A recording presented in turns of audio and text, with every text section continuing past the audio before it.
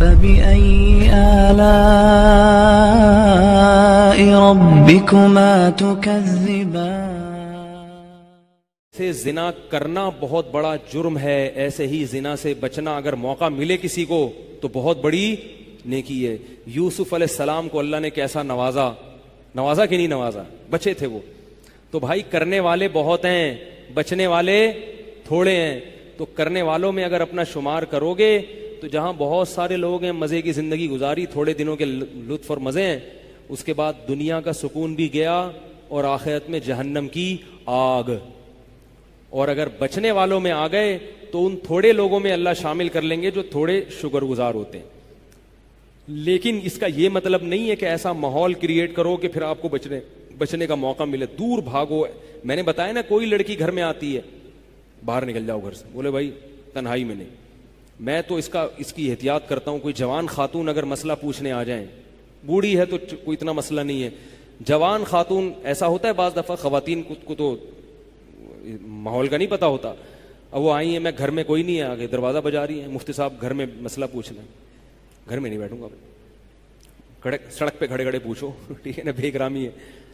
घर में आना है तो फिर मस्जिद के किसी खादिम को या किसी बंदे को घर में बिठाऊँगा। कि भाई आप भी आ जाओ क्योंकि बदगुमानी का मौका देना भी क्या है? हराम है। हाँ घर वाले मौजूद हों अहलिया मौजूद हैं फिर बेशक आगे बैठो। और फिर भी मैं ऐसा नहीं करता कि अहलिया दूसरे कमरे में और ये खातून इस कमरे में मेरे साथ बैठे। ऐसा नहीं होगा भाई। ऐसा करेंगे तो कौन आएगा? है भाई? ऐसा, नहीं होगा।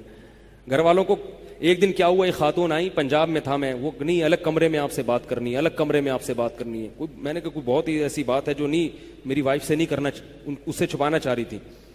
तो फिर मैंने ये किया कि मैंने अपनी वाइफ को दरवाजे पे लाके खड़ा कर दिया। दरवाज़ा बंद किया, मैंने कहा, कुंडी नहीं लगेगी। थोड़ा सा जो है ना, मैंने कहा, आप जब चाहो झाँक के देख लेना। इसलिए नहीं कि हम कोई बहुत बड़े नेक हैं, इसलिए कि भाई हमें अपने ऊपर एतमाद नेक नहीं है, तभी तो ये कुछ कर रहे हैं। नेक होते तो हमें क्या ज़रूरत थी ये सब कुछ करने की? भाई, नेक वेक नहीं है, हमें अपने ऊपर एतमाद नहीं है। बुराई आते हुए कभी कोई देर नहीं लगती है। जो अपने आप को आजमाइश में डालेगा, वो क्या होगा? फंसेगा। वो फंसेगा भाई। वो चौड़े में आएगा। जिसने भी अपने नफ्स पे एतमाद किया ना कि नहीं, हम तो क्योंकि बहुत अट्ठारहवीं मंजिल पर पहुँच चुके हैं, सुलूक की।